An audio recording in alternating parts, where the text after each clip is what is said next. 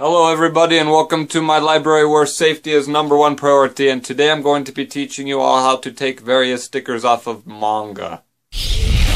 Alright folks, so the first manga that we're going to start today with is Shugo Chara. This is volume 4. Um, I wanted to talk about some of the most prevalent stickers that you're going to see in manga. Um, one of which, and this is for older manga, uh, like this was, this is, this is Del Rey. Um, I think it was like 10 years ago that this was published. Anyway, um, you would have these barcode stickers near the edge of the spine on the inside like this.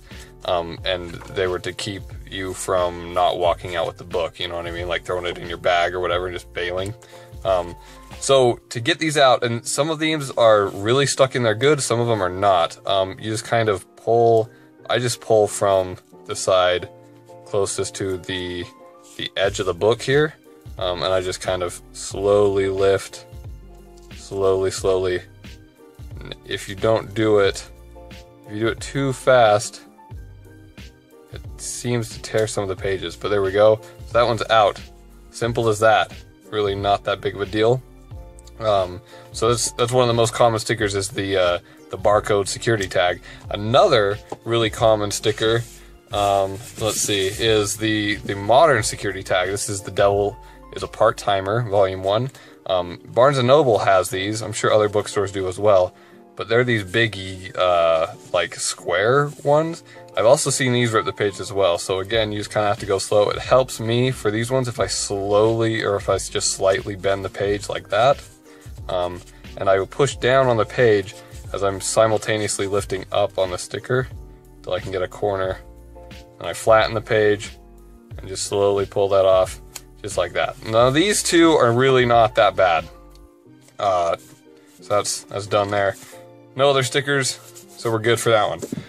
Um, back in the day, uh, back when Borders was a thing, they had these price tag stickers. And so I don't think many bookstores still have the price tag stickers, um, especially on the books themselves, unless they're like plastic wrapped or whatever. Uh, but so this is this is one. Um, I got this off of eBay. I didn't actually buy this in the store, but I found if you just kind of use your fingernail and you don't want to press too hard because you'll indent the book. Um, but I just slowly chip away at it like that.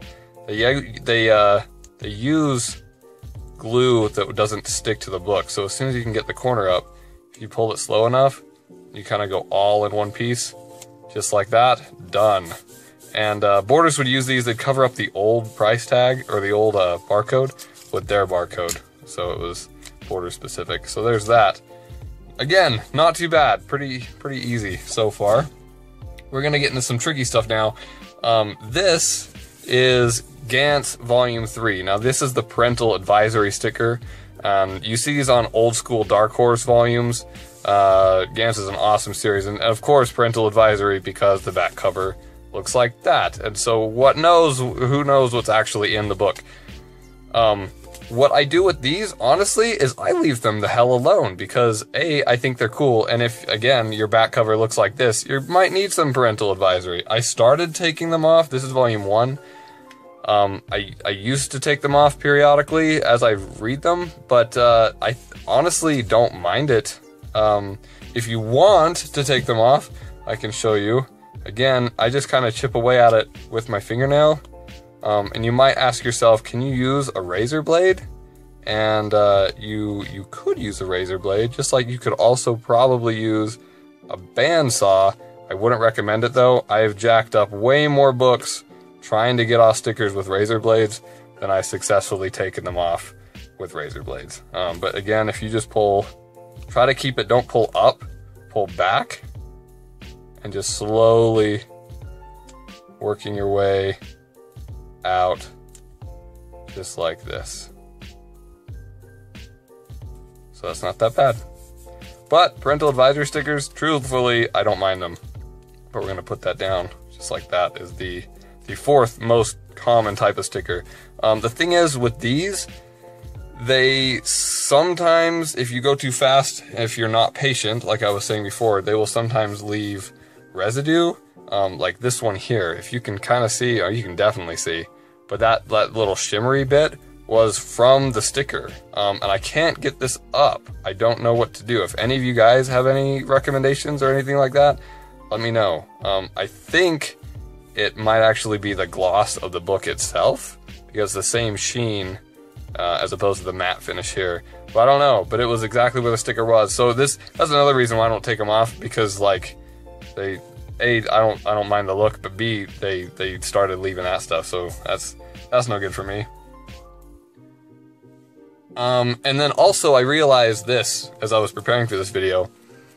Here's uh, Berserk Volume 19. The parental advisory stickers come underneath the saran wrap. So I think the publisher actually wants them there. I mean, they've got the little for mature readers tag thing like right there.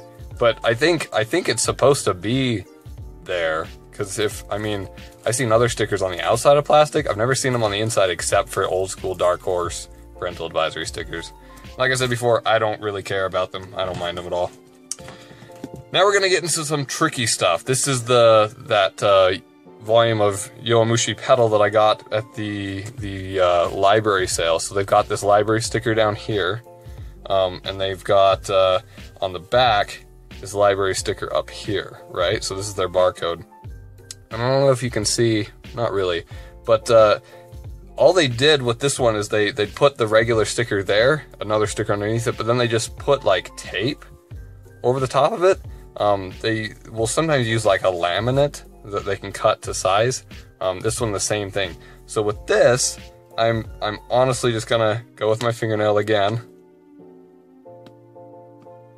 And if you can get up a corner without tearing it, you can usually get up the whole thing. So there's that corner.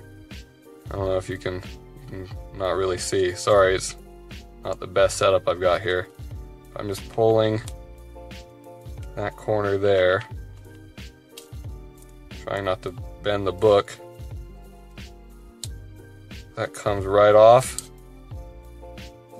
Oh, a little stuck. Let's see if we can not mess anything up with this one. The other the other thing is patience, like I've said before time and time again. You've got to have patience. If you go too fast, you're going to wreck some stuff. Let's go this way. library books, library copies of stuff, and honestly, with all stickers, you never know what you're going to find until you start actually taking it off. Um, sometimes it's awful, sometimes it's a breeze, but uh, you've got to have that investment in actually the removal of the sticker before you proceed. Like I said, sometimes it's going to be a lot worse. Um, if you don't mind library stickers, honestly, I don't mind. Uh, I don't mind some of them. I try to keep the spines as as best as I can, which means this one has got to go. I don't care a lot about this one. I'll show you how to take that one off too, or at least I'll try. Um, but this one's got to go. So like I said, the razor blade, I try not to use it, but every now and then I bust it out. This is one of those cases. Um, it's just really stuck on there pretty good. So I'm not gonna cut anything, but it's thin enough that I can try and pry underneath the sticker in the book itself. The, the issue is if you press too hard, you're going to go underneath the cover or you're going to cut the cover and that's going to be even worse. Like I said before, I've, I've messed up my fair share of books trying to take off stickers with, with, uh, with uh, razor blades, and sometimes it's not even worth it. Sometimes I'd rather would have had the sticker on there. In fact, I've I don't know, anyway, that's that's another story for another day. But we're gonna see.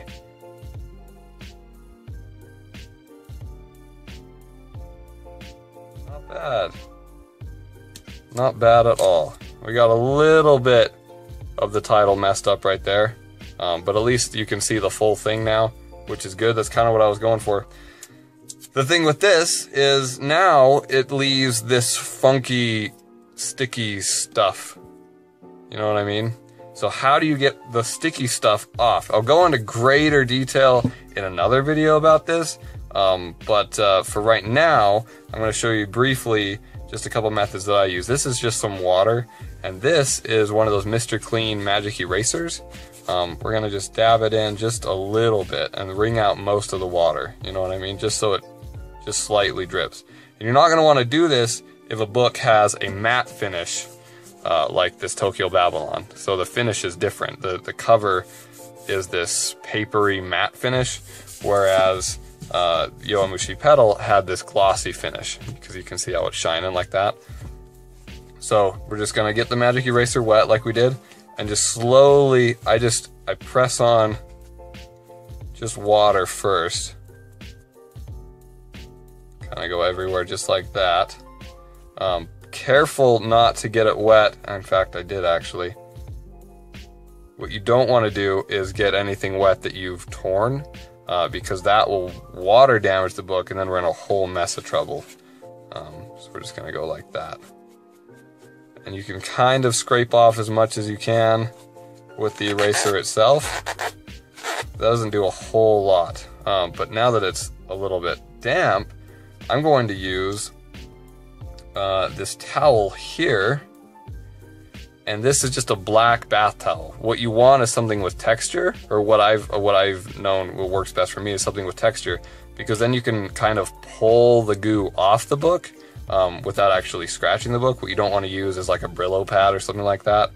And I like to use uh, a dark color, like in this case it's black, because the little fuzzies of the towel will actually leave an imprint on where the sticky stuff is. So if we, if we go at it enough, like this, we can see that that is all fuzzy now, right? And that looks terrible, but we're not gonna leave it that way. Nuh-uh, we are going to remove it. But you have to see it to remove it. That's why I like the black. And I just keep working it. And bit by bit, the more I work it, the more it slides off, you see? There's that line there. And uh, I kind of rotate through the towel. I try to get a different part of the towel every time because the sticky stuff will stay on the towel and then you're just smushing it around everywhere and that's not good for anything.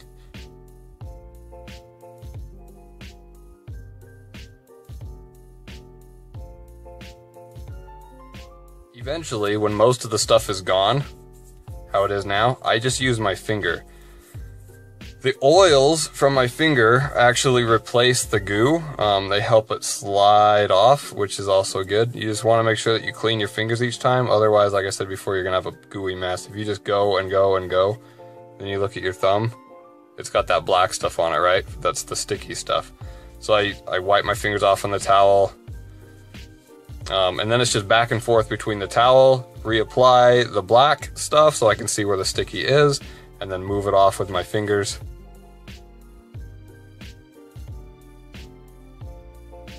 Until finally, lo and behold, it's no longer sticky. No problem, just like this. It's all good. So that looks good. We got the the spine at least cleaned up. I think that's pretty good. Definitely, I think it's better than that big old library sticker. So we got that tiny little scuff right here on the S and she, but you know, better better than this, right? I think so. I think it's a lot better. Um, same process will apply to this one here. Uh, we'll just try briefly if it's gonna be a pain in the ass like the last one we'll just move on. But looks like this one might be pretty good.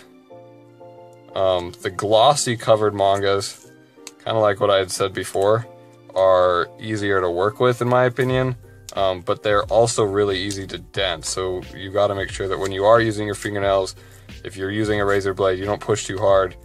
One, because you could go through the cover if you are using a razor blade, but two, you could just dent it. And a dented book although it's not covered in gross sticker, is still not the best kind of book to have. Um, or there's the third option, which is don't buy library copies. And I wouldn't blame anyone for even not even trying to attempt this and just buying the book in and of itself. I am cheap and I like to save money, and so I don't find anything wrong with library copies, especially if you can fix them up like this. Um, in fact, a, a decent portion, I would say, not not an immense ton of books, but a decent portion of the books that I have in my library are library copies, a, a one volume of a series here and there, just because they're too hard to find. so that one wasn't that bad. I took that one off with relative ease. Um, we're going to use that towel method again to see if there is any sticky stuff. Um, no, not really. There's a tiny, teeny, tiny bit right there. There's that. So then we've got this, uh, this other one here, and this is just an Avery label or a generic label, um, but that should come off just if you just peel it back time after time again, you're gonna get it all off. It's not gonna leave any sticky stuff, which is cool. You just gotta make sure that you get all the paper. Um, that's good for right now. I'm gonna move on because this video is already pretty damn long. This now is a crazy library copy. Um, so I bought this off of eBay and I knew they were library copies and that's the best you could kind of do with Knights of the Zodiac because it's an old manga, you know what I mean? I was just grateful to have a physical copy of it. Um, but I mean, it's it's old, old. Pages are yellowed and everything. What can be done with this? The the problem with this is that they've put a a thick laminate across the entire cover.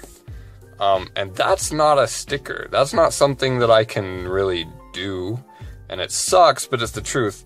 Um, like like I said, just to, to illustrate, there's there's the bounce of the cover. It's it's just thick, guys. Like I don't know what to tell you. Um, but with this, I'm not satisfied still because I can't see the awesome imagery underneath. So, I my goal is to fix the spine at least, so that when it's on the shelf, it'll still look good on the shelf. Um, so the the good thing about these is that this this stuff is used to uh, like resist water or other stickers or goo or whatever. It's just to toughen up the book.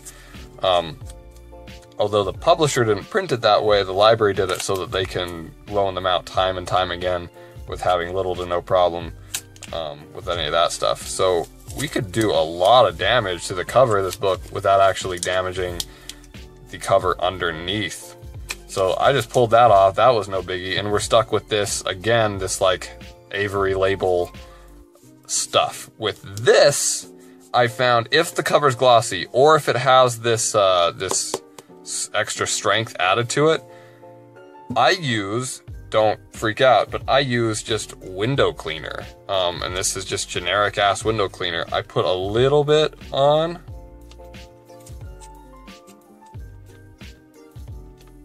Oh, a little too much. Pages have got some. Don't do too much, guys.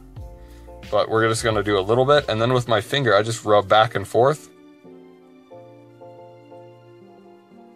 And the stuff basically melts. It just rubs right off. Not too bad, not too bad. So there's there's that. And again, I'm gonna cut it here uh, because I've already kind of demonstrated this part. But again, it's it's still slightly sticky. So you just want to use the towel, your finger, the towel, your finger, get it blacked up, then rub it off. Rinse and repeat, guys. Simple as that. So we're gonna do that. And that way, it still looks good when you plug it into your shelf next to other ones that don't have library stickers, as you can see from right there. I hope that I was able to help you guys take some of the stickers that you might have off a different manga. All that being said though, please, I failed to mention this, but please, please, please, if you use any kind of liquid when cleaning your books or repairing your books, make sure that you let them completely air out, dry 100% before you put them back on the shelves. Otherwise, you have the potentiality of causing water damage or mold to other books, and you don't want that.